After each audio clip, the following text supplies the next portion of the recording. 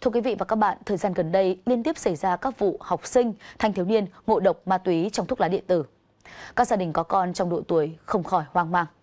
Trong khi đó, theo báo cáo của Bộ Công an, mỗi năm trên thế giới xuất hiện cả trăm chất ma túy mới, còn ở Việt Nam, mỗi năm cũng có vài chục chất du nhập vào và bủa vây giới trẻ.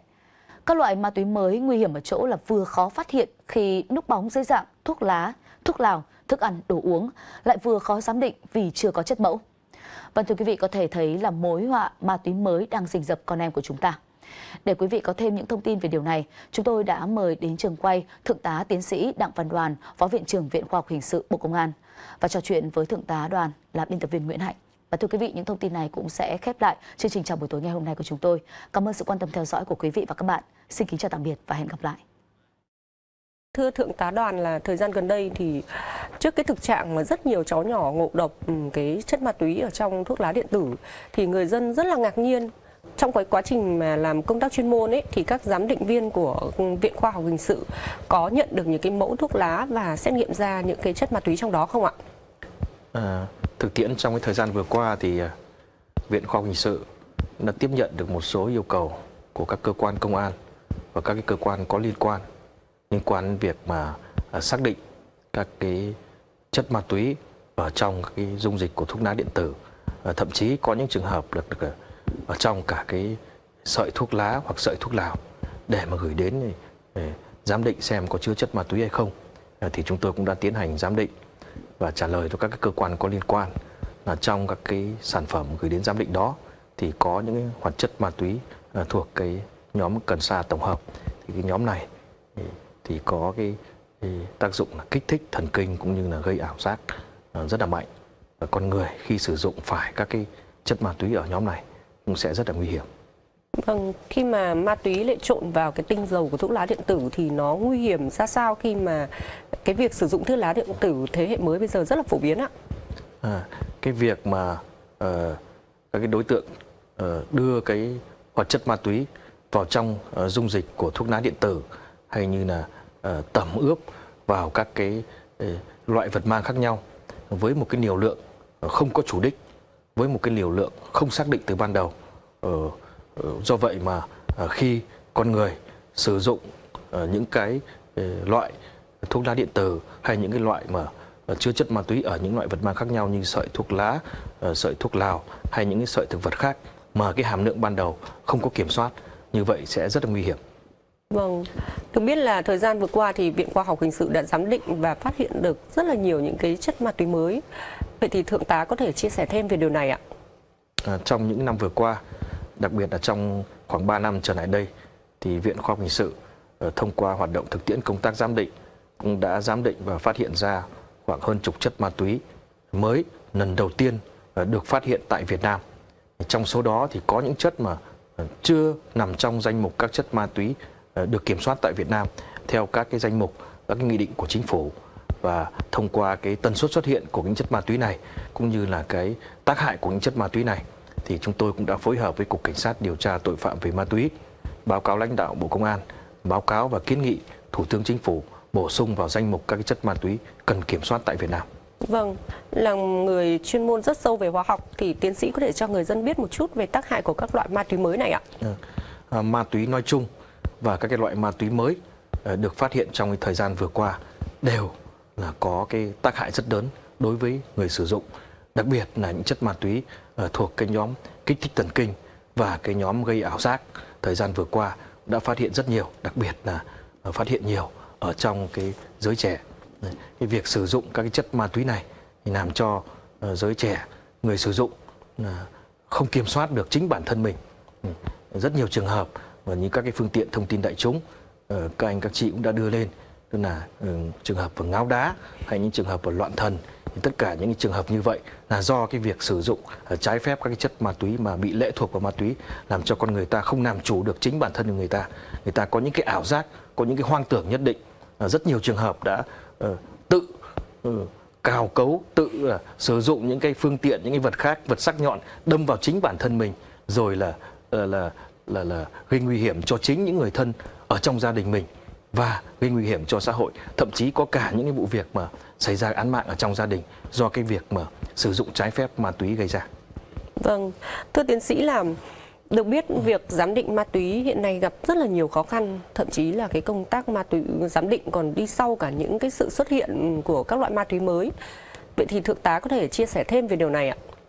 À, Viện Khoa học Hình sự Bộ Công an cũng như là phòng kỹ thuật hình sự công an các cái tỉnh, thành phố trực thuộc trung ương liên quan đến lĩnh vực giám định ma túy. Thì chúng tôi cũng được chính phủ, Bộ Công an ờ, quan tâm đầu tư trang bị những trang thiết bị phân tích hóa lý rất là hiện đại ờ, cùng với cái đội ngũ chuyên gia về giám định viên, yêu ngành, yêu nghề ờ, có chuyên môn tốt, được đào tạo bài bản. Thì chúng tôi cũng đã trong cái thời gian vừa qua cũng đã làm rất tốt cái yêu cầu công tác giám định ma túy. Có thể nói tất cả những cái yêu cầu, cái trưng cầu giám định về ma túy của các cơ quan chức năng có liên quan thì đều được viện khoa học hình sự cũng như phòng kỹ thuật hình sự công an các cái tỉnh thành phố trực thuộc trung ương uh, trả lời đúng cái quy định của pháp luật. Vâng, được biết là chúng ta cũng có những cái phối hợp quốc tế trong việc giám định ma túy. Vậy thì thượng tá có thể chia sẻ thêm về điều này ạ? Hợp tác quốc tế trong đấu tranh phòng chống tội phạm về ma túy nói chung, trong công tác giám định về ma túy nói riêng, đó là một sự tất yếu. Vì ma túy là mang tính chất toàn cầu và như vậy thông qua cái hợp tác quốc tế thì chúng tôi cũng chia sẻ cái thông tin về công tác giám định ma túy ở Việt Nam, đặc biệt là ma túy mới và cũng thông qua cái hợp tác quốc tế à, chúng ta cũng tìm hiểu, học hỏi những kinh nghiệm của các nước ở trên thế giới liên quan đến công tác giám định, đặc biệt là cái chia sẻ về cái xu hướng ờ, rồi là những cái cái chất ma túy mới, cái phương thức, cái thủ đoạn để mà thông qua đó áp dụng vào thực tiễn công tác giám định kỹ thuật hình sự ở tại Việt Nam. Và chúng tôi có thể khẳng định rằng ờ, tất cả những chất ma túy mới ờ, xâm nhập vào Việt Nam thì khi được yêu cầu thì chúng tôi cũng đều trả lời chính xác khoa học để phục vụ các cái cơ quan có liên quan trong công tác đấu tranh phòng chống tội phạm với ma túy. Vâng, một cái ờ, khâu rất là quan trọng trong giám định ma túy đấy là chúng ta phải có mẫu thử. Chúng ta hợp tác quốc tế như vậy thì bạn bè quốc tế có hỗ trợ chúng ta về mẫu thử không ạ? Cái mẫu chuẩn ma túy mà như chị trao đổi là mẫu thử đấy, bản chất là mẫu chuẩn ma túy thì thông qua kênh hợp tác quốc tế về ma túy thì chúng tôi đã được cơ quan phòng chống ma túy tội phạm của Liên Hợp Quốc cung cấp các cái mẫu chuẩn có liên quan, à, những mẫu chuẩn thường gặp ở Việt Nam và chúng tôi những mẫu chuẩn mà chưa gặp ở Việt Nam, những mẫu chuẩn mà có tần suất xuất hiện lớn thì chúng tôi cũng báo cáo lãnh đạo Bộ Công an để mà chúng ta uh, thông qua cái kênh hợp tác quốc tế để mà uh, uh, mua những cái mẫu chuẩn này của các cái cơ quan có liên quan để phục vụ cái công tác mà giám định ma túy để làm sao chúng ta không bỏ sót bỏ lọt tội phạm liên quan đến tội phạm về ma túy. Vậy thì cái việc mà chúng ta có những cái tiến bộ trong giám định uh, ma túy như vậy thì sẽ giúp um, đội ngũ ờ, cảnh sát phòng chống ma túy không bỏ lọt tội phạm như thế nào ạ? À, tôi, tôi có thể khẳng định rằng với cái sự đầu tư quan tâm về trang thiết bị phương tiện, về cái sự chuẩn bị nguồn lực về con người, về cái đội ngũ chuyên gia giám định viên về ma túy thì chúng tôi có thể khẳng định rằng cùng với cả hợp tác quốc tế nữa thì có thể khẳng định rằng lực lượng giám định ma túy của Bộ Công an Việt Nam thì đủ cái điều kiện và năng lực để giám định được tất cả những cái loại những chất ma túy mới mà có thể xâm nhập vào Việt Nam để đáp ứng tốt nhất cho các cái yêu cầu của các cái cơ quan có liên quan và chúng tôi có thể khẳng định rằng chắc chắn sẽ không bỏ sót bỏ lọt tội phạm liên quan đến công tác giám định về ma túy. Ông có thể chia sẻ một chút về những cái thủ đoạn mà các cái đối tượng uh, uh, sản xuất ma túy uh, sử dụng uh, trong cái thời gian qua và các ông đã chỉ đạo như thế nào để phát hiện những cái thủ đoạn này ạ? Và trong cái quá trình mà chỉ đạo công tác giám định về ma túy thì chúng tôi cũng rất bất ngờ. Cái việc mà đối tượng rất là tinh vi lợi dụng cái khoa học công nghệ và kỹ thuật để phạm tội cũng như là che giấu cái hành vi phạm tội. Tội phạm đã uh, sáng chế gọi là điều chế ra một cái loại ma túy mà ban đầu uh, là dẫn xuất của một chất ma túy tức là chưa phải là ma túy. Uh, khi đưa vào cơ thể con người thì lại tác dụng là một chất ma túy. Ừ. điều đó mà qua công tác giám định chúng tôi rất bất ngờ. Và cụ thể ở đây là sử dụng cái cái dẫn xuất của acetyl persinosin. Và khi vào cơ thể con người thì nó là cái persinosin. Persinosin thì là danh mục các chất ma túy ở trong danh mục do chính phủ quy định. Và chính vì vậy mà cái tần suất xuất hiện như vậy và, và chúng tôi cũng đã tham mưu cho lãnh đạo bộ công an báo cáo chính phủ. Và vừa rồi thì chính phủ cũng đã ký nghị định và bổ sung các cái chất là acetyl persinosin nằm trong danh mục các chất ma túy do chính phủ quy định. Ồ, vậy thì những cái đối tượng mà điều chế những cái chất ma túy này có phải là những người có hiểu biết rất sâu về hóa học không ạ? À, tôi nghĩ rằng uh, cái tội phạm về ma túy đặc biệt là cái tội phạm mà điều chế uh, ra những cái loại ma túy mới là những người có những hiểu biết nhất định về khoa học họ lợi dụng những thành tựu của khoa học, đặc biệt là công nghệ hóa học và dược học để mà sản xuất và điều chế ra những cái loại ma túy mới. Ừ. Ngay khi ở trên thế giới ừ, xuất hiện những chất ma túy mới mà những chất này à, được các cái nước phát hiện hay như nước ta ờ, phát hiện ra thì các cái đối tượng phạm tội về ma túy cũng đã sản xuất ra những chất mới. Những chất mới này ờ, có tính năng tác dụng tương tự như những chất mà mà mà đã có trong danh mục và thậm chí là còn có tính năng tác dụng mạnh hơn những chất mà đã có trong danh mục được ban hành. Vâng. Chúng ta thấy được cái cái cái, cái tinh vi của tội phạm về ma túy.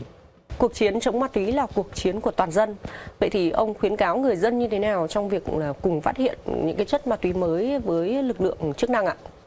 À, theo tôi thì đặc biệt là thông qua hoạt động công tác tuyên truyền về cái phòng chống tội phạm về ma túy,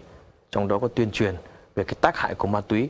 à, trong thanh niên, trong thiếu niên rồi tất cả người dân thì mỗi người dân cũng là một chiến sĩ tuyên truyền về cái việc mà uh, tác hại của ma túy. Và trên cơ sở đó thấy được cái tác hại của ma túy thì người dân đặc biệt là giới trẻ không nên sử dụng ma túy uh, dù chỉ là một lần. Đây cũng là cái khẩu hiệu mà chúng ta thường nói với nhau là không dùng ma túy dù chỉ một lần. Và đặc biệt là các bạn trẻ chúng ta cũng không nên tò mò hay không nên mà uh, qua cái sự giới thiệu sự uh, uh, giới thiệu của bạn bè thì chúng ta cũng tuyệt đối không nên sử dụng ma túy. Vì nhiều khi đó là cái sự gọi là tò mò nhưng theo quan điểm của tôi thì tò mò hay không tò mò các bạn cũng không nên sử dụng ma túy dù chỉ một lần Vâng, um, có một câu hỏi mà chắc là nhiều người dân cũng thắc mắc đó là khi nghi ngờ một cái chất nào đó là ma túy thì họ có thể mang đến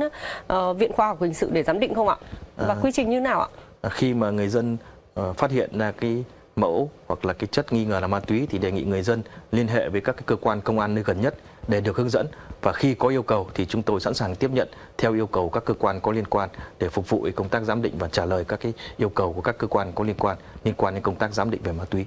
Cảm ơn Thượng tá Tiến sĩ Đặng Văn Đoàn đã nhận lời mời tham dự chương trình ạ. Một lần nữa xin cảm ơn anh ạ.